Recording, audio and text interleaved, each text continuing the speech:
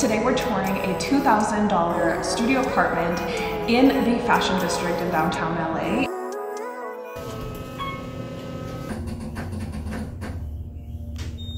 It is $2,000, which I think is very affordable for the space. A full kitchen, a full bathroom, and a huge space with huge, beautiful windows. But let's take a little bit more of a slow look at it located, like I said, in the fashion district, so Skid Row is pretty close. Parking does not come included, but there's a few garages, so I definitely recommend, like, if you guys are gonna move in here, make sure that you have parking before you lease it out. Look at the beautiful concrete floors, and then the kitchen is huge. Like, this is a real kitchen. Like, I could see this size kitchen in a home.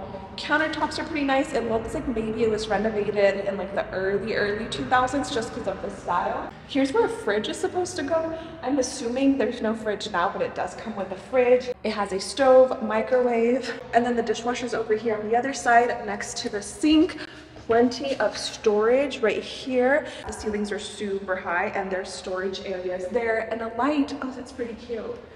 And there's space to put stools right here. There's actually a ledge. So you wouldn't even need a dining table. I think I would just put like a couch and TV here then and then filming stuff over there. But these windows, I'm obsessed. These windows are gigantic. Now let's go take a look at the bathroom. Yes, the bathroom does have a bathtub and it looks like a huge bathtub. Wait, I need to try and see if I can fit in it. Oh my god, this is huge. I'm 5'10", by the way. Oh my god.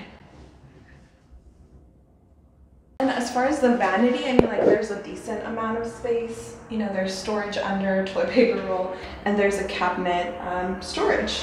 I think this is really, really, really good price for a studio this size. I mean, clearly the location is definitely part of why it's a little bit more affordable.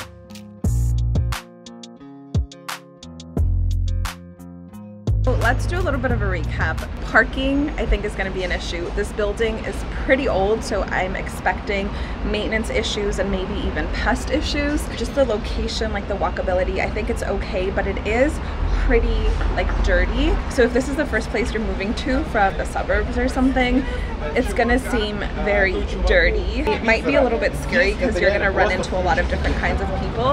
And then the space itself, it's just so big, even though it's a studio, it's like the size of a one bedroom and has everything that you need and plenty of space, plenty of lighting during the day.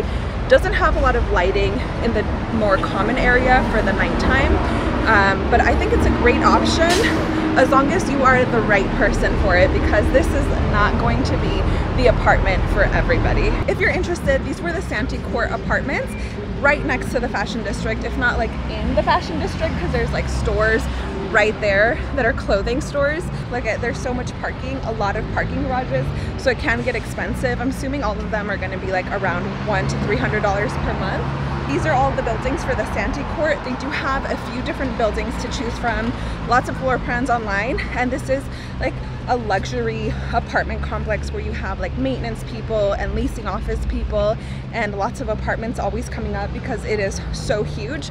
But um, thanks for watching and let me know if you want me to tour more apartments in LA. I am looking for another apartment in LA, but um, I don't know if this is it. I really liked it. Maybe it might be it. I don't know.